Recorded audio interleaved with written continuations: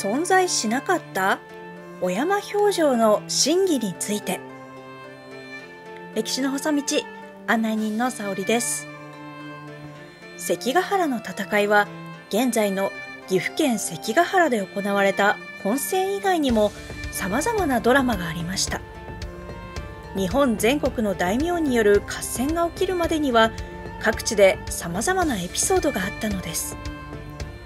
そもそも関ヶ原の戦いは徳川家康が上杉会津征伐の最中に西軍が放棄したことを知り小山にて転身。上杉征伐から日本を二分する戦へとなだれ込むのですが小山で転身することになった軍議が小山表情です。軍議にて上杉よりも石田三成たちを討つべきと話がまとまり転身を決定したという方向転換は映画や漫画ドラマなどで劇的に描かれることが多いのです。実はこの小山表情実際にはなかったのではないかとの声があります。そこで小山表情は本当にあったのかいろいろと見てみるとしましょう。小山表情とはすでに歴史マニアの方々であれば今更小山表情を説明する必要はないでしょう。豊臣秀吉亡き後権力争いが顕在化します。石高さらには経験人望。これらにおいて最も力を持っていた徳川家康が本来であれば同格の五大老に対し牽制を始めます。上杉征伐もその一環とされており上洛を断った上杉に対して本意ありとして会津征伐が決定。しかしその途中小山にて西軍側の京での放棄を知るとその場で軍議が開かれ上杉ではなく京に戻って西軍側を征伐すべきとの声が多数聞かれたことから京へと転身。結果関ヶ原の戦いへと続くことになるのですが迷っていた武将たちに福島正則が勝を入れたとかあるいは徳川家康と福島正則による茶番にて西軍征伐を決めたといった説がありますがいずれにせよ会津征伐のために従軍した武将たちは小山で転身しました。小山表情はフィクション？しかしこの小山表情ですが後世の創作なのではないかとの声があります。まず一次資料では小山表情は確認できていません。話し合いそのものはあったかもしれないものの決してドラマや映画にあるようなけんけんがくがくの議論が繰り広げられたのではなくあくまでも家康が決定事項を告げただけでそこに反論の余地などなかったのではとの説もあります。客観的に会津征伐の途中で小山に立ち寄ったことそして小山で転身したことは事実です。しかし当時の関係性を踏まえるとそこで従軍していた武将たちと家康とでどうするのかといった議論が行われていたことは考えにくいとの説もあります。さらには家康に同行していた武将たちの書状には小山での表情に関する言及がない点。小山表情が行われるのであれば家康から諸将に対して小山に集まるよう指示が出るはずですがその書状もない点。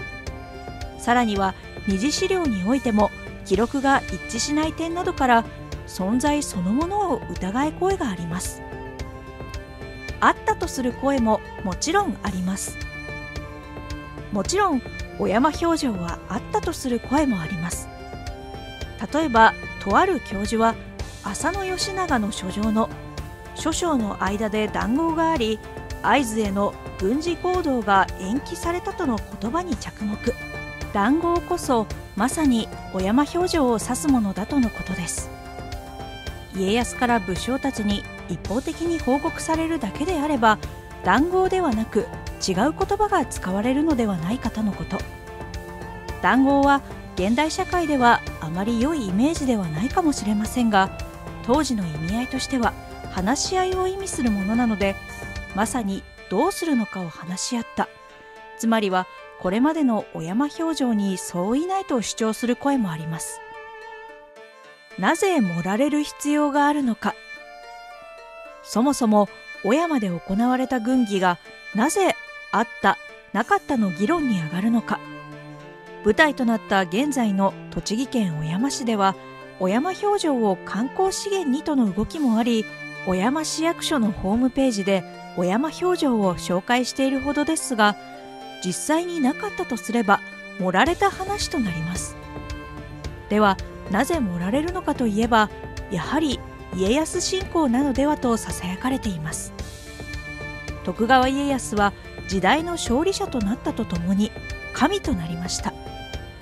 江戸時代家康は神君。つまりは神となりましたし幕末には徳川慶喜といった才能のある人間が出てくると神君再来ともてはやされました。小山表情も家康の素晴らしいエピソードの一つとして盛られているのではとされています。冒頭でもお伝えしましたが会津征伐の時点ではまだ豊臣政権です。家康の立ち位置としては豊臣政権実力者であって豊臣当主ではありません。その後の関ヶ原の戦いにて勝利を収めることで豊臣家中のイニシアチブを握ると次第にその権力を豊臣から徳川に移すことで徳川時代を作るその流れは見方によっては主家三奪です。江戸時代に家康が褒めたたえられたのは家康の才覚もさることながら主家三奪のイメージ悪化を防ぐことも目的とされています。つまり小山表情にて豊臣恩子の武将たちの意を家康が感じ取ったとすることで家康に箔がつくことになります。家康が勝手に決めて命令して転身しました。ではなく豊臣恩子の武将たちの心情面を理解し受け止め話し合って転身したの方が家康の度量の広さをアピールできます。またドラマにしやすい部分もあります。繰り返しになりますがそもそも小山にいる武将たちは上杉征伐として従軍しているのです。この時点では関ヶ原で石田三成や西軍を討つなどとは思っていないのです。しかし小山での転身後は西軍を討つに目的が変わります。まさに従軍の目的が変わった場所です。命令が下りましたより様々な議論があったの方がドラマティックな展開です。この議論の決着は？では小山表情がフィクションなのかあるいは史実なのかの決着はどうなるのか。この点に関しては他の議論同様一次資料の発見次第です。もしもこの先小山表情を認める一次資料が発見された場合小山表情はあったとなりますしこのまま見つからなければあったとは言い難いになります。2度あったとする説も実は小山表情はあったなかっただけではなく2度あったのではないかとの声もあります。そもそも小山表情は会津征伐の最中に石田三成や大谷義継が挙兵したことで方針を転換した軍議とされています。しかしこの時点では会津征伐従軍武将たちに届いたのはあくまでも石田三成大谷義継が挙兵したです。つまり一部武将の反乱程度のものだったでしょう。その後慶長5年1600年7月26日の書状にて方針転換が認められています。それがです。29日頃いわゆる第2報が入ります。それは内府違いの上場が出されているとのこと。つまり第1報では石田三成と大谷義継が挙兵しただけだったものが第2報では家康への弾劾がありました。つまりこの時点で家康こそ謀反人になってしまっている状態だったのです。そこでもう一度軍議が開かれたのではないかとするものです。石田三成の挙兵だけであれば石田三成を嫌っている豊臣恩子の武将は家康に協力するでしょう。しかし豊臣政権謀反人となってしまった家康に協力するかは未知数です。だからこそ家康に対しての忠義の確認が取れるまで家康は動かなかったのではないかとするものです。もちろんこちらはあくまでも説ですが興味深い話ではあります。まとめ。このように小山表情にはいろいろな声があります。小山市とすればあったであってほしいところでしょう。いずれにせよ実際に小山表情が行われたかあるいはまた違った形で何かが行われていたのかは一次資料の登場を待つしかありません。最後まで動画をご覧いただきありがとうございます。今回の歴史の細道はいかがでしたでしょうか？これからもワクワクするような歴史の動画をお伝えできればと思っております。もしよかったらチャンネル登録お願いしますね。こちらの松尾芭蕉のボタンを押していただければ登録画面に飛びますのでどうぞよろしくお願いいたします。